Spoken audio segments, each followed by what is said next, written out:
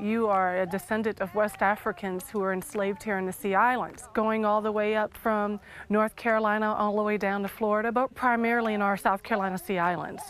They were brought from the coast of West Africa to the low country and enslaved in order to do the labor of the plantations that helped to build America.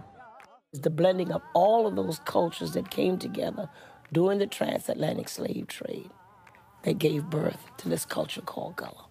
Gullah is the most authentic African culture in America. We think Gullah came from the word Gola.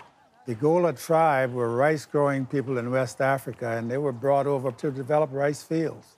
One of the major reasons why we were selected from the west coast of Africa, especially those rice producing countries like Sierra Leone, Senegal, Gambia, Angola, the rice coast, was because of our expertise in rice cultivation.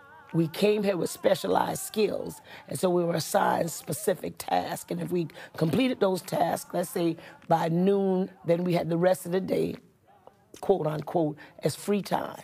They were pretty much left alone certain times in the year. The spirituality of the Gullah people is first and foremost, and family is another aspect. We can just drop one letter from a word and just change the sound altogether. We would probably say, oh, we out here in the yard, okay? We wouldn't say that. We say, we're there in the yard.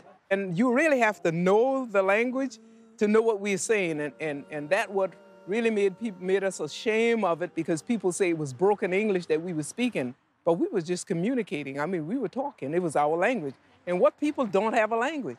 You cannot have the complete story of American history without South Carolina history. You cannot have South Carolina history without Gullah history.